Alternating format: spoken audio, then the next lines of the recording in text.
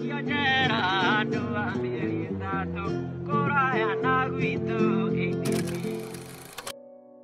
fam, welcome again on our today's video.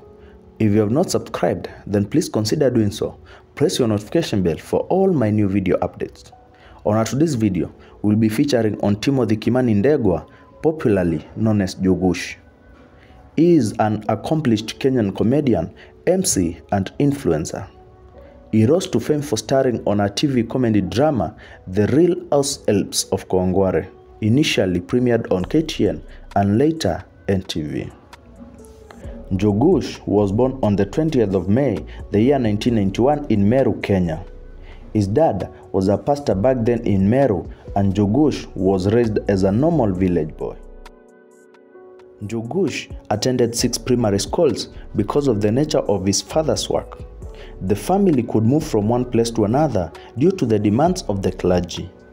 He later joined Naro High School in Kangaroo for his secondary studies and scored a C plus in his KCSE exams.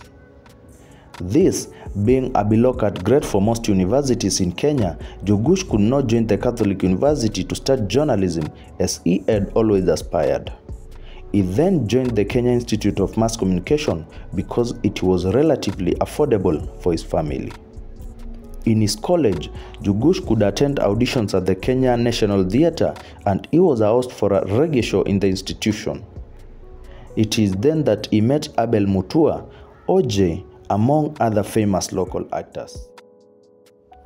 In the year 2013, Njugush was contracted for a local TV role by Abel Mutua, who had been interested by a play that Njugush had starred in 2011. The show was Apakule News.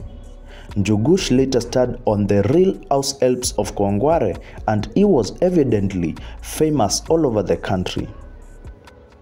Njugush is married to one Celestine Wakavinye Ndinda and they have been blessed with two children, a son and a daughter. The two have a long love history where they met back in college while both were students. Jugush openly explains how he was suffering in college and Celestine could help him. Jogush is a successful wealthy guy and he owns a fleet of vehicles including a Toyota Prado worth over 10 million Kenyan shillings. He lives in a mansion in Ruiru suburbs and owns other businesses like the Benit Wear, a clothing company in Nairobi. He also receives a good pay from his YouTube content with over half a million subscribers and millions of views. They are indeed a blessed family. Jogushi's net worth is estimated to be 50 million US dollars as of 2023. Thank you guys for watching. Don't forget to subscribe, leave a comment and share. Also click on your notification bell for all my upcoming celebrity facts videos. I am presenter Vincent Chow. Thanks for watching. Bye bye.